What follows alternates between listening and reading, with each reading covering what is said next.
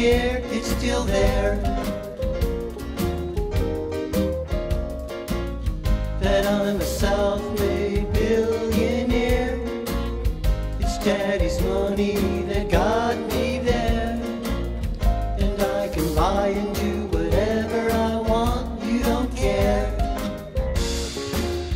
I'm the cat.